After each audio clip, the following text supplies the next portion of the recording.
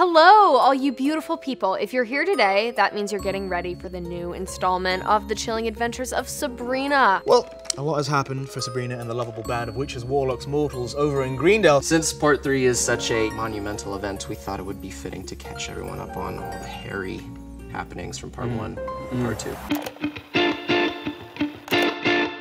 Let's start with the main characters, yeah? Obviously, there's Sabrina. I don't know if you've heard this, but she's a teenager who's also a witch. Teenage witch, if you will. She lives with her aunts Hilda and Zelda, as well as her older cousin Ambrose. Me. They're all witches and run a mortuary together.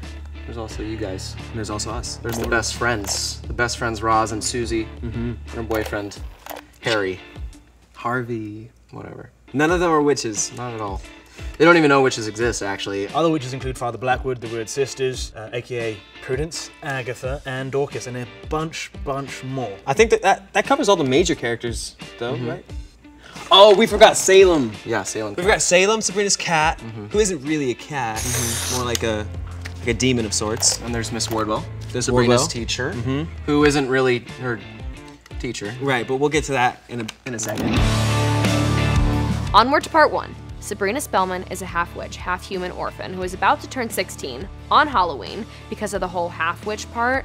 Her birthday involves something called a dark baptism, which means she will be pledging her soul to the Dark Lord. AKA Satan. To be fair, that's a pretty badass Sweet 16. Sabrina is curious about what the ceremony entails, but is torn about going through with it. I mean, it would require she abandon her mortal friends and break up with sweet, sweet Harvey Kinkle, which is a tough ask. He's so sweet. He's all right. Around the same time, uh, Sabrina's teacher, Miss Wardwell, is killed by Madame Satan, who taken the form of a lost child. And Madame Satan is interested in helping the Dark Lord enlist Sabrina to the path of night. Kind of fucked. Sorry, not great. Because she is so torn about her upcoming decision. Sabrina and her family are visited by Father Blackwood, who attempts to convince Sabrina to press on her with plans to be darkly baptized. Father Blackwood is the leader of the Church of Night, basically a bishop to the antipope's pope. Later on, Over at the school, the normal human one, a bunch of the jockey asshole guys have been bullying one of Sabrina's best friends on Earth, Susie.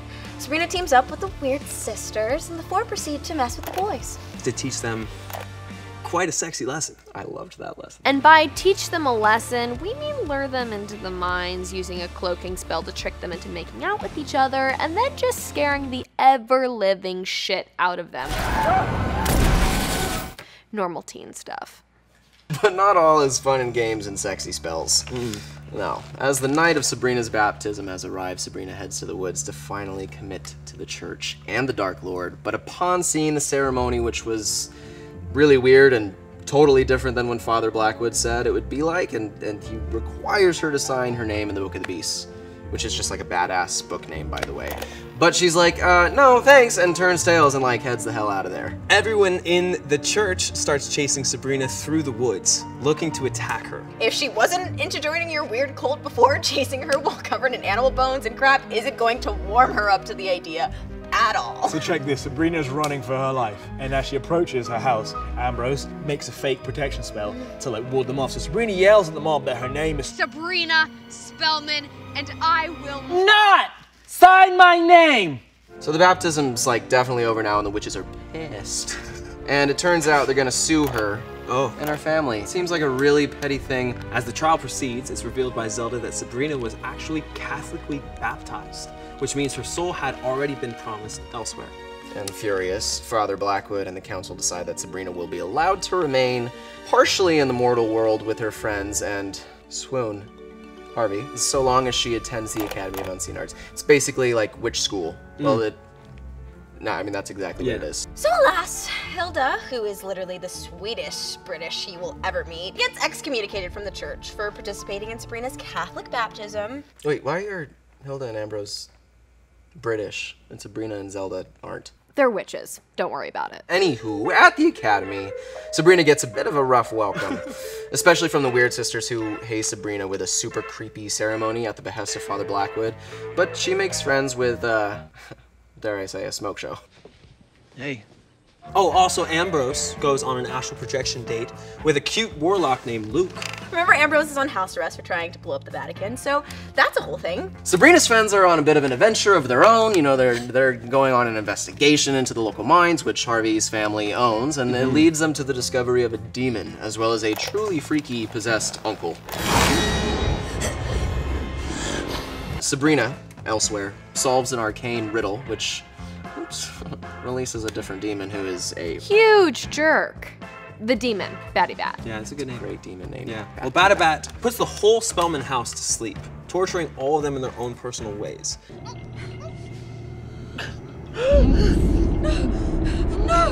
After a whole lot of unfortunate drama, Sabrina, with the help from Salem, of course, is able to banish the demon. But not before realizing that Mrs. Wardwell is not all she seems. You can start by telling me the truth about who and what you are.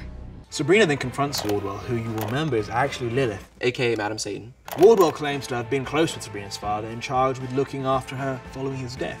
Claims, claims, Uh-huh. lies. Lies, yeah. I was his acolyte. She's full of it. Well, after this, Sabrina's friends all start experiencing visions of, you know, Susie's weird uncle, It's very scary. and they reach out to Sabrina to discuss. Sabrina quickly realizes that he is, in fact, possessed by the demon Apophis. And with the help of her aunts, they exorcise it from Uncle Jesse. It's left pretty freaked out, but, you know, thankfully unpossessed. But before anyone celebrates, the very next day, Miss Wardwell kills Jesse with a heart attack, something witches can just do to people, I guess. Damn, that's harsh. And why don't we do that more often? We've got a villain. Oh, it's gone. We've got another villain. Oh no, it's gone. Because then you, you, you don't get to be creative with the magic. Despite all the calamity surrounding the Spellmans in the past month, they're asked to host the Big Fall Festival that witches apparently have. The Feast of Feasts. It's similar to Mortal Thanksgiving, but The menu is slightly different.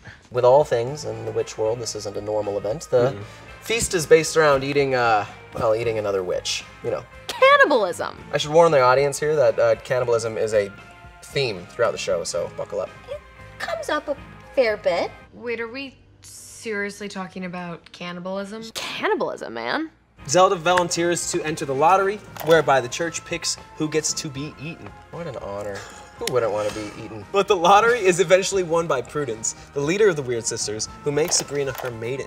Basically her servant until the Feast of Feast. I'm dying for a warm buttermilk bath. And a plate of macaroons. So, Aunt Hilda bakes a truth cake and serves it to the Blackwoods, where it's revealed that Prudence was selected because she's actually Father Blackwood's daughter, and Lady Blackwood, who is not Prudence's mother, was jealous. I enchanted the ballot box to favor Prudence's queen. Extremely petty stuff, if you ask me. At the Feast of Feasts, Father Blackwood, who knows Prudence is his daughter, cannot go through with the sacrifice. But as he attempts to cancel the event entirely, another witch promptly slits her own throat, and the whole church chows down on her corpse. It's very, very graphic. Dude, they're witches. You know, Yeah. this is what they do. Cannibalism. Well, the next day, two of the Weird Sisters, Dorcas and Agatha, attempt to collapse the local mines, with Harvey and his brother trapped inside me, trapped inside. Luckily, Harvey has a sweet spell of protection over his head thanks to Sabrina and survives unscathed. His brother, however, is not so lucky. At Tommy's funeral, Roz discovers that she has this special power to see in the future and the past called the Cunning. Cunning. The Cunning. And it shows her the cause of Tommy's death. After Sabrina learns of this, she is apoplectic and sets out to resurrect Tommy, which requires killing Agatha by slitting her throat in a totally brutal and awesome way. Mm-hmm. Therefore, replacing Tommy's soul with hers. But don't worry, Sabrina didn't actually kill Agatha. She uses the Cain Pit, a strange area of the Spellman family cemetery that can resurrect the dead witches, to resurrect Agatha. Everything's going according to plan. It, things don't go as planned, which I mean, who didn't see that coming? Now Agatha starts hacking up dirt, which is not great even for witches, and we learn that she was never meant to be brought back to life. Meanwhile, Tommy is acting super, super strange. And we find out that his soul is in limbo, and Sabrina sets out to, uh, well, to get him out of there. But she's too late. She finds Tommy. She starts running out with Tommy out of limbo, but then she gets out and Tommy's not so lucky and he gets eaten by the soul eater. Uncool thing, but pretty cool name. Yeah. And when she returns from mortal limbo, Sabrina finally reveals to Harvey that she's a witch. and also that she needs to kill his brother. That's why I need to put what's in Tommy's room back. So Harvey is understandably upset by this information and chooses to kill Tommy himself. He also breaks up with Sabrina, which I mean is fair, but no more Sabrina. There's that warlock guy. What do you think? Introducing you think- Nick Scratch. You think he's cute? Nick Scratch, not Oh, not, you? the actor that plays oh. him, but the character himself. Yeah, I'd, I'd have to say he's probably a probably ladies' man. Witches are aces of passion and lust. Trouble keeps stacking up for Sabrina, so she breaks down and admits to Roz and Susie that she is in fact a witch after Roz has a vision of her doing magic. Classic friend combo. Mm-hmm. Things are really coming to a head now, so Madam Satan is impatient that Sabrina hasn't signed her name in the Book of the Beast, so Satan is also pissed, so they decide to resurrect the Greendale 13, witches who were killed by the townsfolk centuries ago. The plan is to basically demolish all the mortals in Greendale. Because somehow Madam Satan and real Satan figure that even more mayhem and violence will finally convince Sabrina to join the coven. While all the witches head to the Church of Night to weather this storm, Sabrina and her aunt start a real storm, a tornado actually, to force all the mortals into the local storm shelter, which is Baxter High, and they cast a spell of protection onto it. Protection spells are very, very handy. Qui effecto protego mixtisque ubis serpentibus episters. Damn, can I have your number? Yeah, Okay, with all this awful stuff going on, Madam Satan convinces Sabrina the only way to fix everything is for her to sign her name in the Book of the Beast, which she really, really doesn't want to do. Nevertheless, Sabrina needs more witch power, and promising her soul to Satan is the only way to get it. So, after a small signing ceremony in the woods, very quaint, Sabrina gains her full witch power. Her hair turns all white, invokes Hellfire, which is really freaking cool and blue, and banishes the Greendale 13 as well as the Angel of Death, and all is right. And well. So while the danger has temporarily passed, we still have Madam Satan. Who in the final moments of part one reveals her plan of becoming the Dark Queen of Hell. And she straight up eats the principal of Baxter High. She does! Cannibalism! Also, Zelda stole one of Lady Blackwood's newborn twins following the lady's death. She just snatched that baby. She didn't snatch wigs, she didn't snatch candy, she snatched a baby. Anyways, The truly big thing that happens is Zelda, realizing she cannot keep baby Letitia hidden from Father Blackwood forever, gives the baby to an elder named Desmelda to raise her in the woods and teach her the ways of being a witch. All of that, up until this point, was part one. Just part one. Since we aren't on magical house arrest, let's uh, go get some food and then come back and let's do part two. Oh, we get food. Yeah, let's go eat. Absolutely, let's go. Hey everyone, remember us? Well, since we recapped part one of The Adventures of Sabrina, we thought we'd come back and walk everyone through part two. We're pretty good at this. Yeah, we're, we're doing a good job. Let's dive in.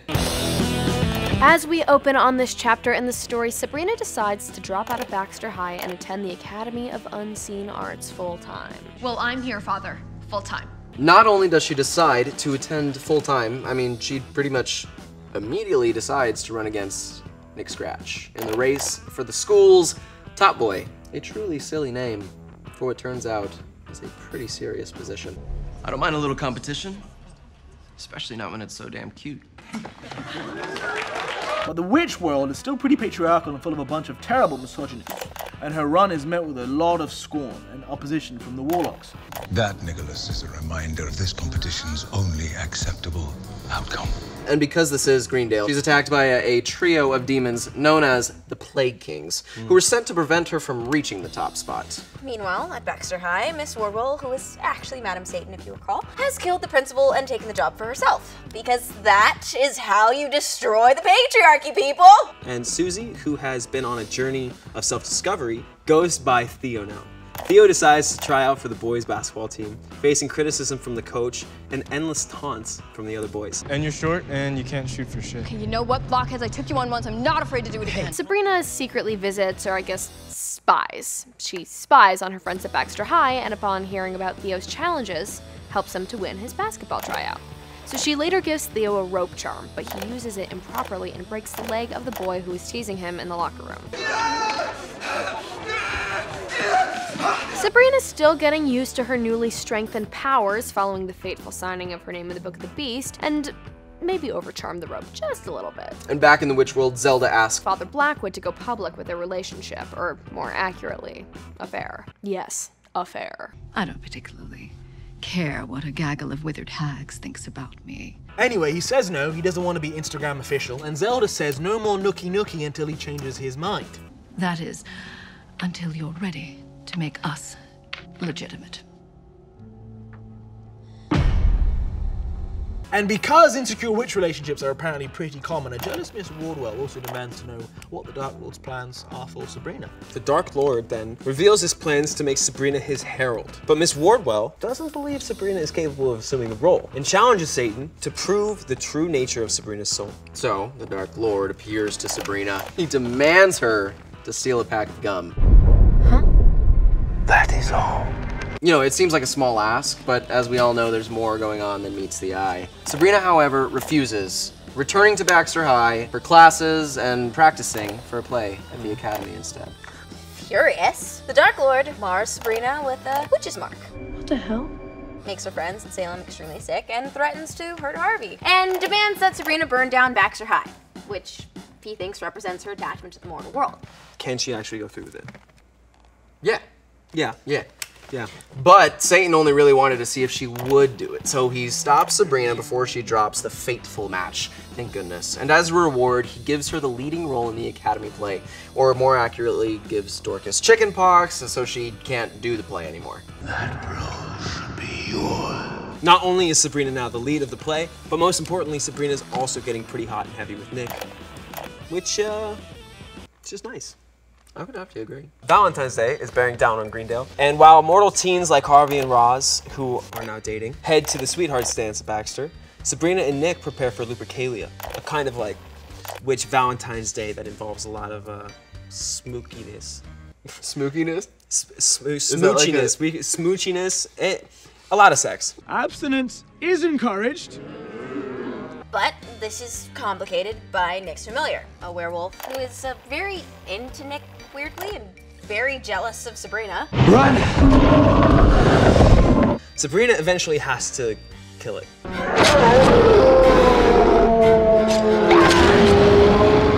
It's never a good way to kick off a romance. Also, Father Blackwood takes the opportunity to propose to Zelda. You're proposing marriage. It is the Dark Lord's will. Congratulations, Zelda! Congrats, Zelda. Congrats. Congrats. Even though Blackwood is kind of a, you know, misogynistic asshole. And Hilda has her own romance going on with her boss down at the bookstore where she works, who is currently controlled by an incubus. As insane as it must sound to someone who has no knowledge of the satanic, Ambrose catches a really, really shitty break. Since Luke is dead, Father Blackwood asks Ambrose to join his private club. It's known simply as the Judas Society. That name seems like a red flag. Full steam ahead. Yep, on Zelda and Father Blackwood's wedding. Choo choo! Despite the protests from Sabrina and the Weird Sisters, who all have different reasons for stopping this unholy union. You're 16. What do you know about love? Nonetheless, the wedding moves forward, and it's announced that the anti-pope himself will be officiating. Hilda was re-accepted into the church, so that's pretty good. Yeah, that is good. And we also see Lilith, or Madam Satan, still disguised as Miss Wardwell, of course, vow to move forward with her plans to drive Sabrina to the Dark Lord. So later that evening, as she is talking to Nick, an apparition of Sabrina's father appears before her and warns her that Father Blackwood was responsible for crashing the plane that he and her mother were on, and they died. Of course, his apparition is just Mrs. Wardwell, who proceeds to tell Sabrina that her father had been on his way to Rome to present his manifesto to the anti-pope. So of course Sabrina is like, Oh man, I absolutely have to get this back. And then she sends Nick through a portal to retrieve it from the middle of the ocean. Somewhere just out in the middle of the ocean. And I, I'd fight a giant squid. Anything for you. After she gets the manifesto, Sabrina approaches the anti-pope with it, and he is actually pretty cool about the whole thing and agrees to give it serious consideration as a potential new direction for the church. Obviously, this pisses off Father Blackwood, mm. and he ominously vows that Sabrina's document will never be implemented. And that night, while Prudence is plotting to kill her father, because she's mad that he won't give her his last name, screaming breaks out in Blackwood's home. And it's revealed that someone hacked the anti-pope to death. As we quickly learn, Ambrose is going to get framed for this, and, and Blackwood's going to be the temporary anti-pope. At the wedding, which is still happening despite the murder of the anti-pope literally hours before, Sabrina and Nick magically disguise themselves as Sabrina's parents and accuse Father Blackwood of murder! But it doesn't work, and they are taken away. Sabrina gets expelled from the academy. It was all I could do to persuade Faustus not to lock you in the dungeon, too. So even more bad news. The witch hunter who killed Luke, Jerathmiel, I know, weird name. He comes back to town and uh, and he, he sets upon the academy with his band of missionaries who are actually like murderous angels, and they attempt to take out as many witches and warlocks as they possibly can. Witch After taking the captives back to their church, the missionaries prepare to burn them at the stake. But Sabrina, who now has the power of the Dark Lord pumping through her, shows up and soars through their arrows. Her eyes get all white and crazy and awesome, and she blasts all the hunters into dust. It's so cool. This really feels like a tipping point for Sabrina. I mean, she's full badass now. She's full tilt. And it shows. Sabrina was like unto a god. She even uses her new powers to heal Ambrose, who was like very badly wounded by the hunters. So at Ambrose's trial, Sabrina exposes Blackwood to the Dark Lord, their fancy new powers, who admonishes him and frees Ambrose. Blackwood is stripped of his temporary status as anti-pope. You displease the Dark Lord, Father Blackwood. And Sabrina commits to fulfilling her father's dream of uniting the witch and mortal worlds. Father Blackwood is still hella pissed about the whole Antipope thing and imprisons Zelda for betraying him. Finally, he goes about reforming the Church of Night into a new church, the Church of Judas. Imagine that. All the changes are super sexist and authoritarian and just suck in general if you're not a man. Yeah. Now, remember those pesky mines this guy's family owns? Well, while down there, Harvey and Theo, they find this mural that shows Sabrina, our Sabrina, bringing forth the apocalypse as Satan's right hand. Not the most ideal prophecy to Mm-mm. stumble upon. Next, Madam Satan advises Sabrina that if she creates a mandrake doppelganger, she can transfer her witch powers to it, then kill it, destroying her powers forever. But making the prophecy of a half witch, half mortal, destroying the world, impossible. And do look into the Mandrake spell. It could be just the ticket. Because the Mandrake clone immediately escapes and kidnaps Sabrina's friends, which culminates in Sabrina killing her clone in a very dramatic old school pistol duel in the forest. Killing herself. Sabrina completes the final component of the whole bring forth the Dark Lord thing, and sure enough, here he comes. And according to that pesky prophecy, she will rule at his side. Now that uh, the Dark Lord has returned in his super hot, angelic form and has Sabrina as his queen, he tells her very Darth Vader style that he is her father. Edward Spellman isn't your father. I am. What? Super twist. Yeah. Super big plot twist. It's like, whoa! Yeah. I'm your father.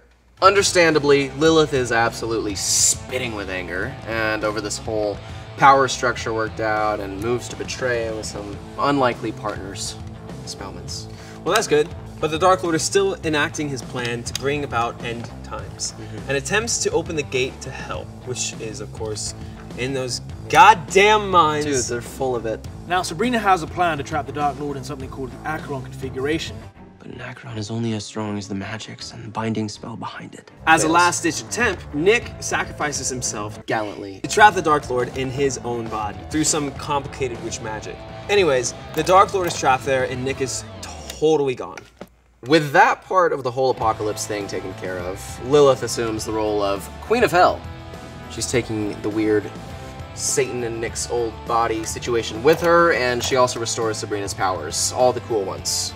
I mean, like, all the badass stuff that she was doing. And she resurrects Miss Wardwell to her original body. With a woman running the show now, Father Blackwood goes on the run and Zelda takes over the Church of Night and Academy where they now worship Lilith and do away with all that dumb misogynistic crap. And in the final scenes, we see Ambrose and Prudence set off to hunt Father Blackwood, and Sabrina vowing to bring Nicholas back from hell. Let's go to hell and get my boyfriend back. And there it is. We did it. Damn, We're killing it, dude. You are all 100% primed and ready for some sweet Part 3 Sabrina action. Enjoy.